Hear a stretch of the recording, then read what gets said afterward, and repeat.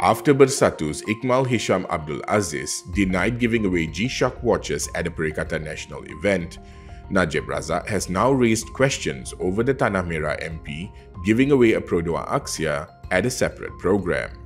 According to Najib, the event was purportedly the annual General Assembly of Parent-Teacher Associations in Tanah Merah, organized by the District Education Office and officiated by Ikmal Hisham.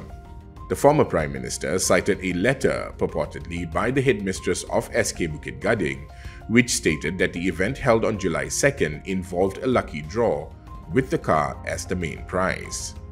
The other prizes up for grabs were said to have included 5 motorcycles, 10 cows, 10 40-inch televisions, 20 handphones and 200 hampers.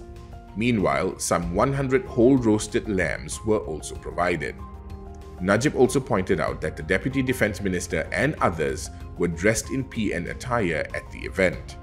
He questioned if the Education Ministry footed the bill for these expenses or if PN covered the costs.